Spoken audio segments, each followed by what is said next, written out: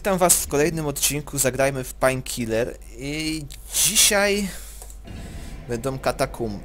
Runda, której nie znoszę.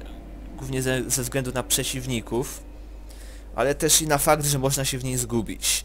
Wiele rund w Painkillerze ma właśnie taką cechę, że e, niby mamy tam te, ten czerwony pentagram, który powinien nam wskazywać, w którą stronę mamy iść, ale z drugiej strony też e, jest tyle rozległych terenów, że po prostu człowiek się gubi szukając tego pentagramu, więc ta runda jest właśnie taka. Znaczy tutaj mamy ogólnie dość hermetyczne takie tunele, ale mm, tych tuneli jest wiele. Mm, tutaj też nie będziemy mieli zbyt wielu nowych przeciwników. Będziemy mieli mi mini bossa za to. Mini bossa, którego pokonanie może wiązać się z pewnym problemem.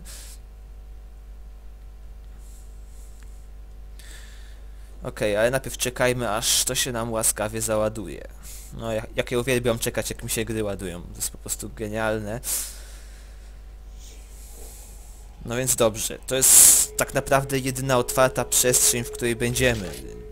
Po wkroczeniu do tej jaskini już praktycznie z niej nie wyjdziemy.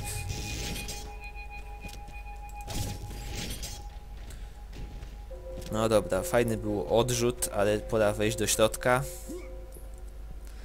No i na samym początku pojawiają nam się kościotrupy, to znaczy one same w sobie nie, nie są jakimiś nowymi przeciwnikami, ale jak widzicie mają w ręku buzdygany, nie mają mieczy.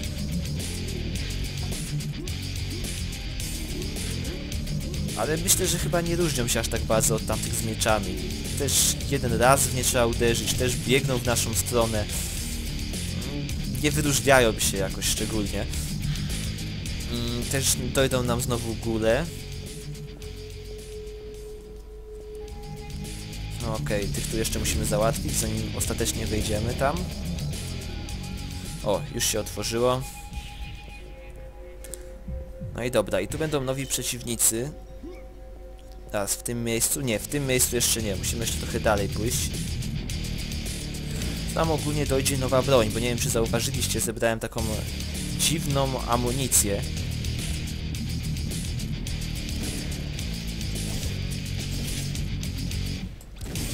Okej, okay, no i góle. Nienawidzę ich. Czy wiecie, dopóki macie strzelbę, góle wydają się dość trudne, ale w momencie, kiedy macie minigana i możecie strzelać nim po nogach, no to sprawa jest już bardzo ułatwiona.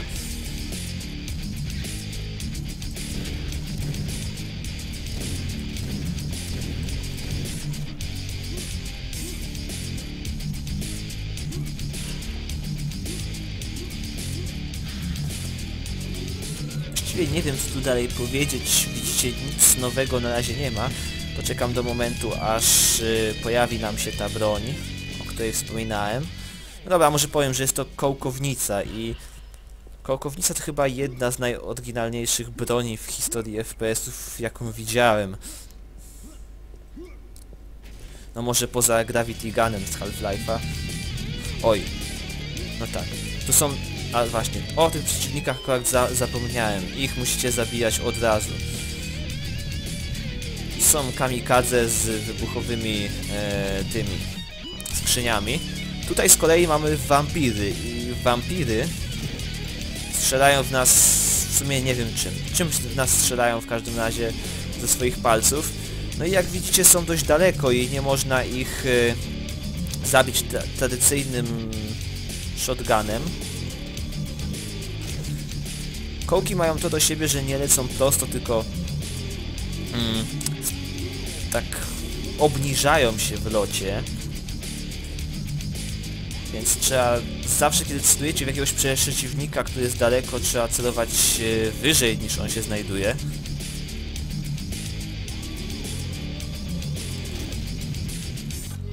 No i dobra, chyba... A nie, tutaj jeszcze został jeden.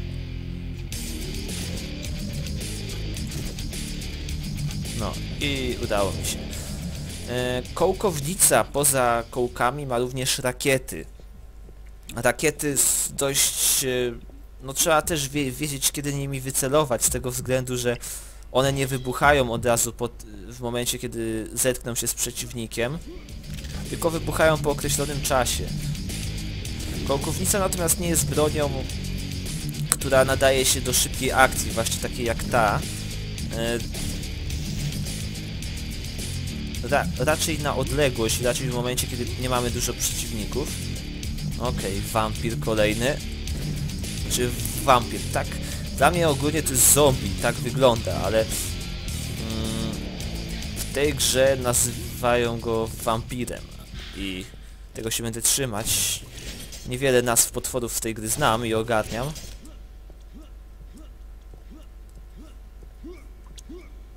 Okej, to wydaje się, że to jest ślepa uliczka. Tak jak wspominałem, nienawidzę iść tymi korytarzami tutaj.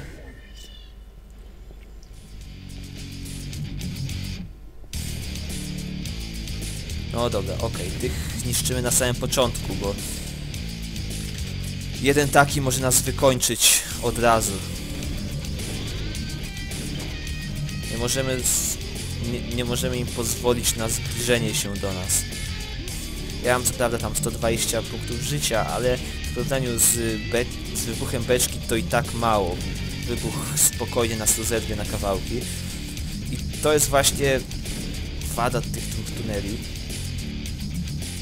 Dlatego, że jeżeli przeoczymy tych kolesi z beczkami, wejdziemy sobie tutaj, tu wyjdą góle, z tyłu za nami może czaić no niemiła nie, niespodzianka. No dobra, kto tu jeszcze jest do usunięcia? A, tutaj jesteście. Okay, wbiłem mu zgrabnie kołek w nogę.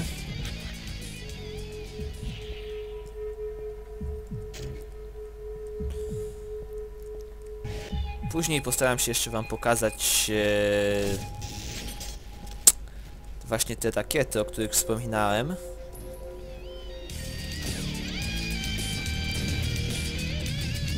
Ale na razie nie warto ich marnować, bo mamy pojedynczych przeciwników, którzy nie mają aż takiej siły, żeby nam przeszkodzić. No, chyba, że chodzi o tych, no ci akurat lepiej jak są pojedynczo, a najlepiej jak w ogóle ich nie ma. Cholera, już myślałem, że to są ci z ładunkami wybuchowymi.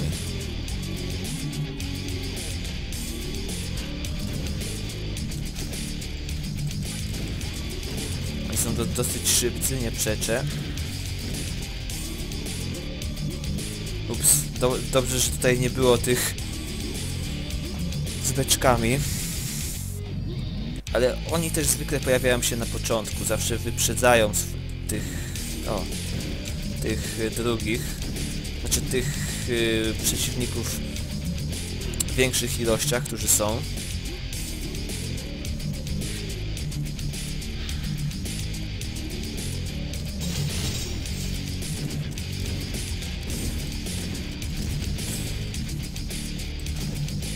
No, ten się tutaj zawiesił chłopak. Musiałem go odwiesić w taki brutalny sposób.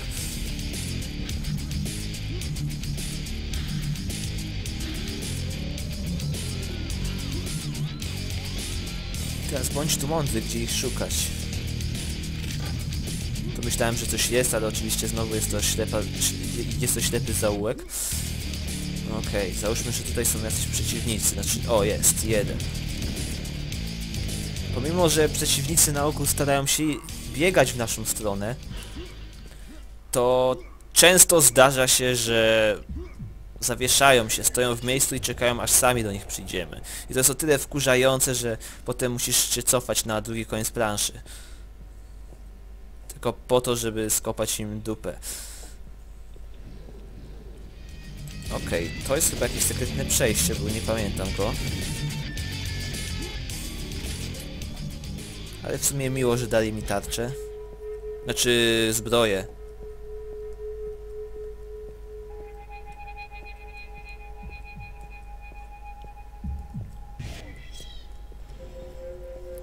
Za dużo to sobie nie powalczyłem w tamtym etapie.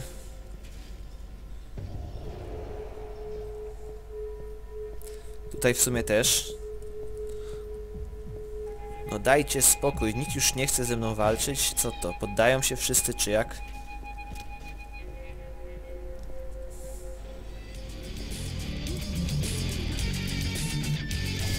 Wolę zniszczyć te budki.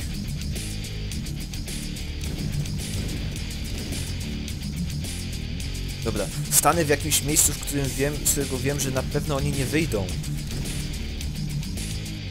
No wiadomo, i jest ono zamknięte, więc nie mają jak z niego wyjść.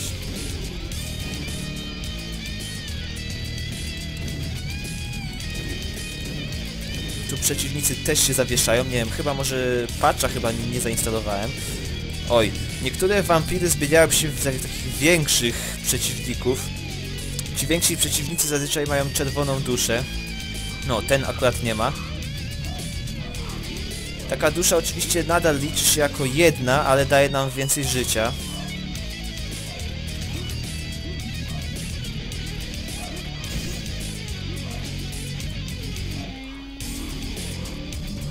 No dobra, ale gdzie ja teraz mam właściwie iść?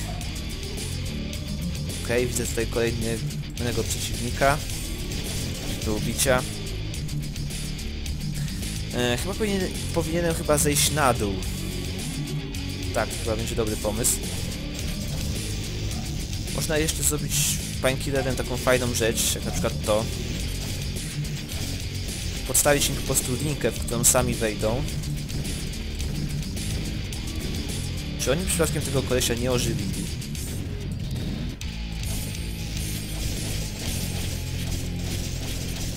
Nie wiem, sam. Hmm, w sumie nie wiedziałem, że oni mogą ożywiać przeciwników. Jakoś nie przypominam sobie, żeby mieli taką moc.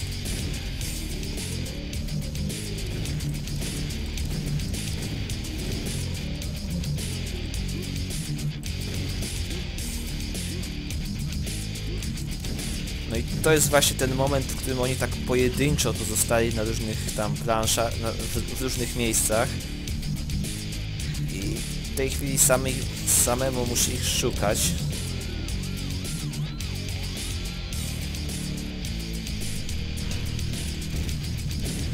No i tym razem nie trafiłem w niego lodem. A spróbujemy ich skałkownicy. Okay, tutaj jeszcze ten pocisk. Na, na nich chcę przetestować. Jak widzicie, nie, niewiele o nim zrobił ten tak naprawdę. Znaczy, może źle sprecyzowałem działanie tego pocisku. On e, wybucha w, w momencie zetknięcia z przeciwnikiem, ale jeśli przeciwnik broni się, załóżmy tarczą, no to ten pocisk nie jest mu w stanie nic zrobić. To, to jest właśnie idealna pora na mm, zmianę w demona. Dlatego, że nie będę się musiał męczyć z ich zabiciem e, na, na, na odległość. Tutaj wszystkie demony wyświetlają mi się na czerwono, także bardzo szybko mogę je usunąć.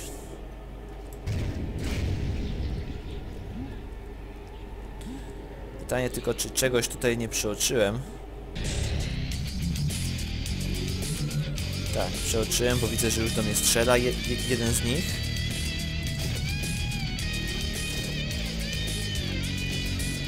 Okej. Okay. Wygląda na to, że zabiłem wszystkich, którzy tutaj się kryli. A, i tutaj jest właśnie mini-boss. Mini-boss, który na ogół przypomina zwykłego wampira. Niestety nie da się go zabić w sposób konwencjonalny.